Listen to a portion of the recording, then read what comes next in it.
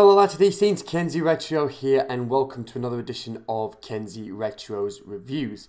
Today, I will be reviewing... Ah, much better than Dumbo last week. Much better.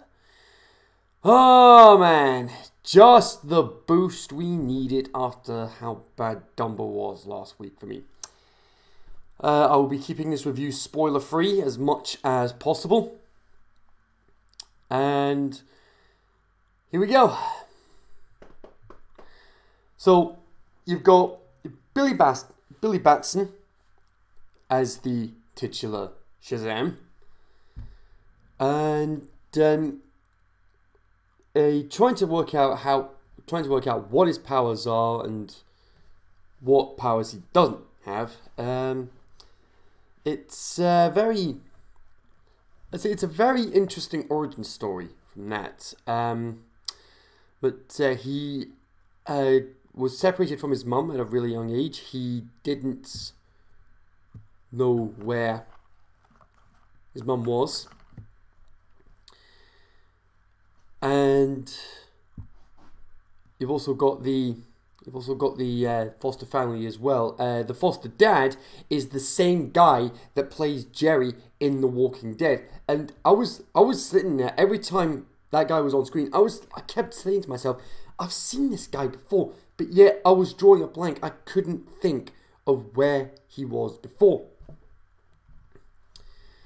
But uh, you've got um, you've got the antagonist who tried to take the to take this mystical artifact after being tempted to take it by the seven deadly sins when the original Shazam said that he wasn't worthy of becoming Shazam.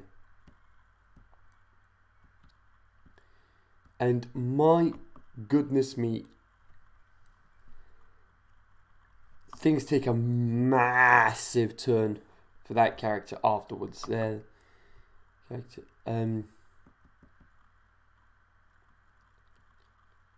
Thaddeus, Thaddeus Sivana. That's that's his name. And then you've got Djimon Hounsou, uh, as the as the original Shazam. And uh, interesting facts about him: he was the he was the voice of Ricou in Aquaman.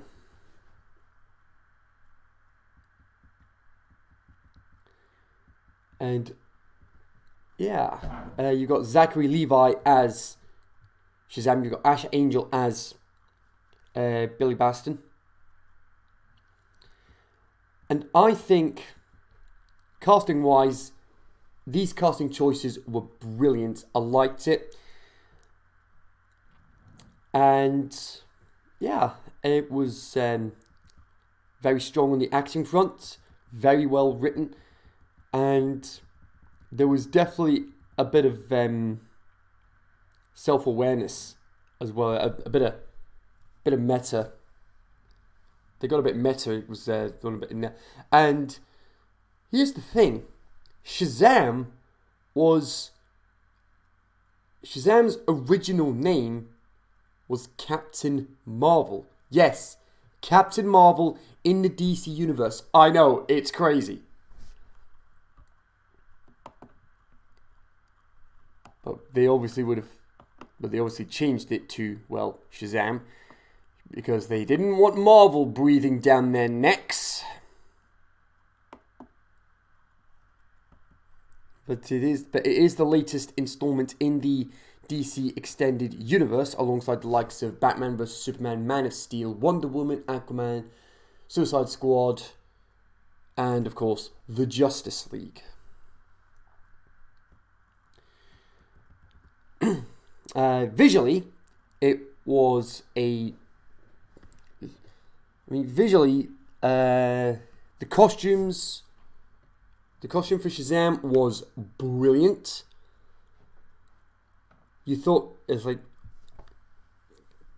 but uh, with but with the powers that he was showcasing, uh, it was sort of like half. It was sort of like part Superman, part Flash. Uh, but yeah, it's um, costumes were pretty much on point. The visual style for the videos, uh, no videos, no, uh, for the film, uh, set around set around Christmas time, and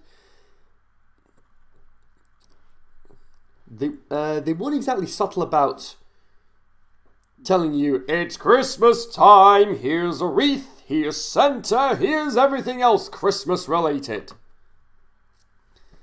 But yeah, it was uh, it was a great. It's a great film all around. Um, soundtrack, sort of like your sort of your cliched music score at this point. Um, but the music was done by Benjamin Wallfisch, who worked on It from 2017, Blade Runner 2049, A Cure for Wellness, Hidden Figures, Lights Out, and Desert Dancer. But some of the songs that they used, some of the songs that they used, oh man, I was man, I was having fun with "Don't Stop Me Now." I mean, some, I mean, the song choices that they had, absolutely brilliant. So I've done the soundtrack, cast, story. I mean, I liked the story. A different take on how to create uh, how to have an origin story for your superhero because they were acting like they didn't know what his superpowers were. I mean, I mean, he had superpowers. They just didn't know what ones he had and what ones he had didn't have. So yeah.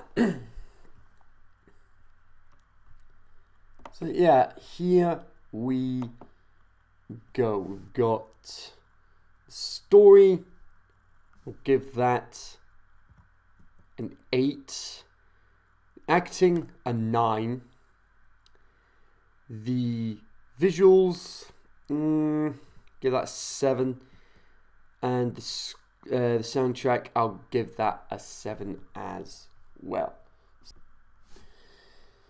So there we go. Uh, done. So after all the calculations have been done, uh, the overall score is a seventy-eight percent. Technically seventy-seven point five. Yes, I did not. Yes, I'm aware that seventy-two point five for Dumbo last week. I didn't round it up because it wasn't good enough to justify me um, putting up.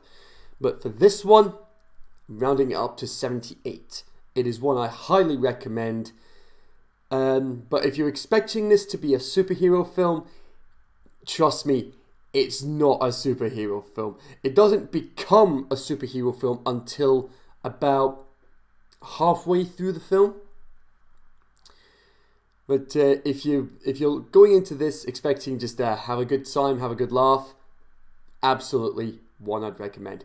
So there we go. That is it for today, folks. Um, the next review I'm going to be doing. Um, not sure if I'll be doing one um, beforehand, but uh, next review I'm going to be doing is going to be Avengers Endgame. And after that, I may just review the rest of the MCU. Oh boy, that's going to be fun. But anyway, hope you enjoyed what you saw. If you did, as always, hit the thumbs up. And if you want to be baptized and following this channel, hit the subscribe button down at the bottom. Click the bell to join the Latter-day Saints notification squad so you don't miss anything I do on this channel. Previous video on the left. Playlist on the right. And I'll see you guys again very soon. Until then, enjoy the rest of your day. Peace out. And as always, stay faithful.